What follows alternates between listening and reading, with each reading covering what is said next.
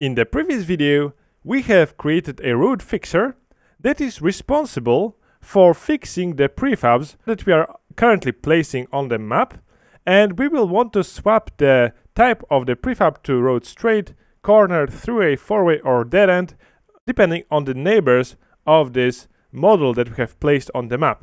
But we are currently not using it. So to use this class, we will need to open up the road manager. So let's go to the assets in the project section, scripts, and let's open up the road manager. Okay, we are in our road manager script and we have created this temporary placement positions list. Let's copy the name, but we have not yet used it in our script. So let's slide down to the placement road, uh, sorry, so to place road method. And after we check the position that it is okay to be uh, placing a road prefab on this position, before we place our temporary structure, we are going to call our list, so temporary placement positions dot clear, because we want to clear it before we add a new prefab. And next, we are going to add to it our current position. Okay. So the idea behind it will be that when we implement our A star to search path for our road, when we move our mouse, when we drag our mouse, we are going to add each space to our temporary placement positions.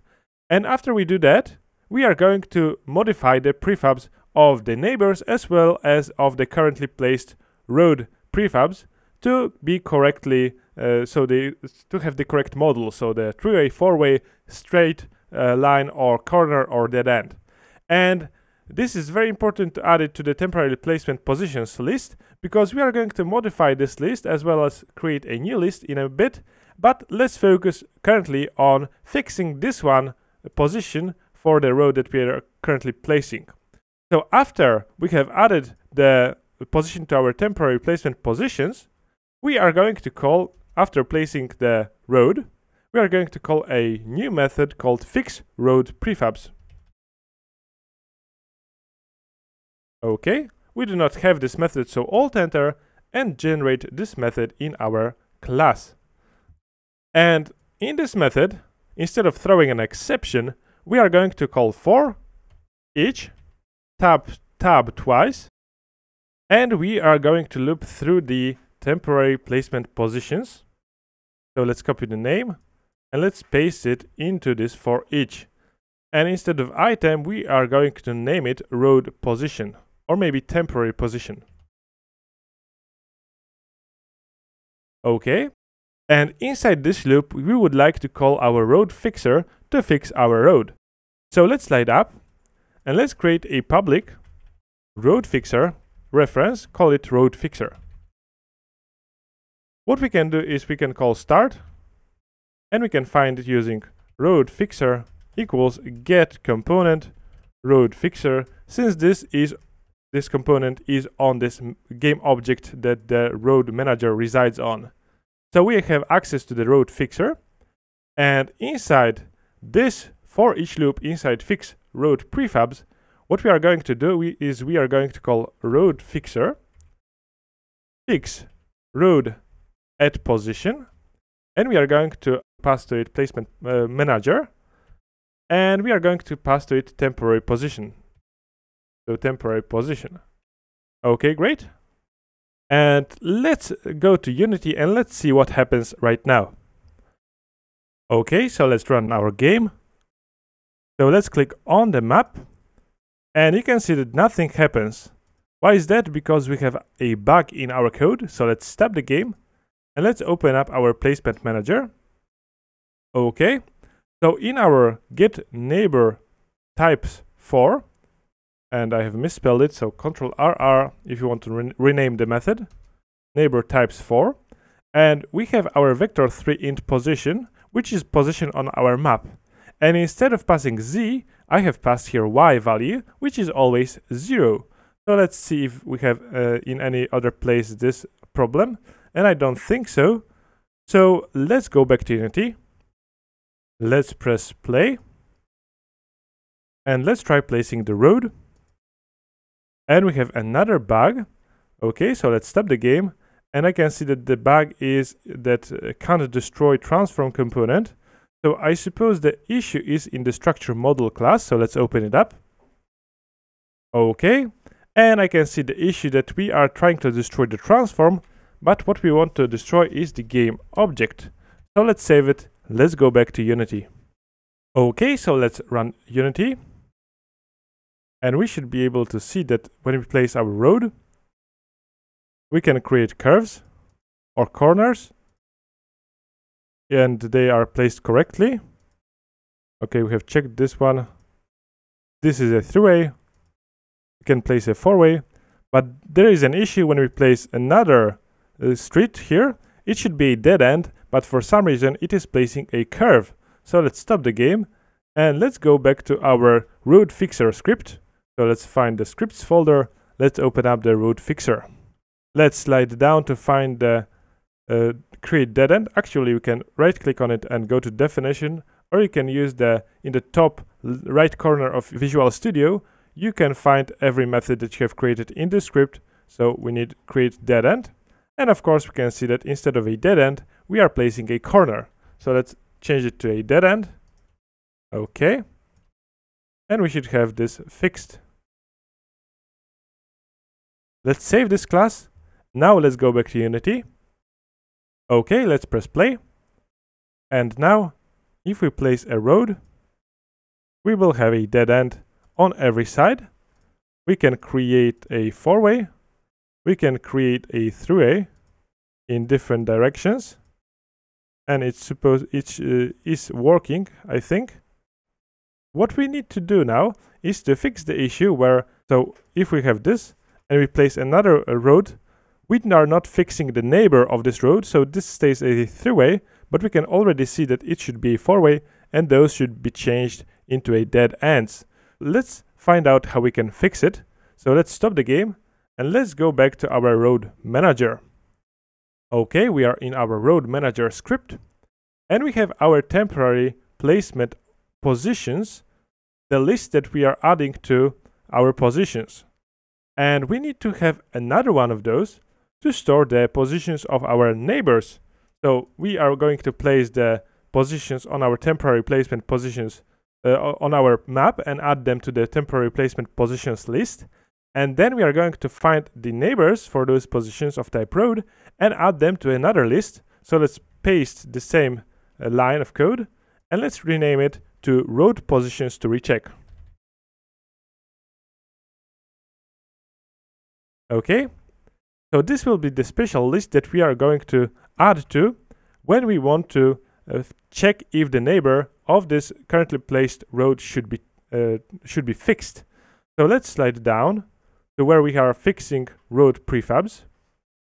And after we fix the initial road prefab, we are going to call var neighbors equals placement manager dot get neighbors types of, uh, no, we want to have get neighbors of type 4. So we want to get the neighbors of specific type for the position that we are currently placing a road on. So what we are going to pass here is the temporary position and the cell type road. Okay. And since we do not have this method, so uh, let's alt enter on it and generate it. Let's right click and go to its definition. Okay, what we will need to return here is not an object, but a list of vector 3 ints. Okay.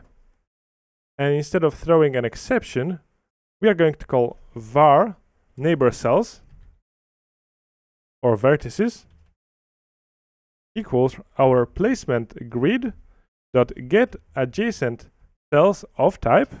That's why we have those helper methods in our grid. And we are going to pass x and y position so temporary position dot x and temporary position dot z as y value, and our road type for the type. And what we can do is we can rename those parameters from road to type and from temporary position to position to make this method universal. So now what we will receive is a list of points. So what we will need to do is simply create a list of a vector 3 ints, call it neighbors, equals new list. And next we are going to call for each tab, uh, tab tab to create it from the snippet. And we are going to uh, loop for each point on the neighbor vertices or for each vertex in the neighbor vertices and we are going to add each uh, and every point to our neighbors list. So neighbors dot add new vector 3 int and we are going to pass it point dot x 0 and point dot y okay and at the end what we are going to do uh, let me check what is going on okay we do not have small x the point contains big X variable and big Y variable. Okay, now it should be good. So last thing we will need to return our neighbors list. Okay, great. Let's go back to our road manager using the blue arrow in the top left corner or of Visual Studio. Great. And what we will need to do here is we are going to loop for each tab tab for each neighbor or road position in our neighbors and we are going to add all of those to our road positions to check road positions to recheck dot add and we are going to add to it road position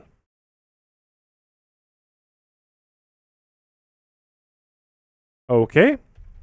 And we are using the for each loop because in a bit we are going to also verify if this doesn't contain already this position since there is no point in rechecking twice the same position. Next we are going to call for each sorry for each tab tab and for each positions to position to fix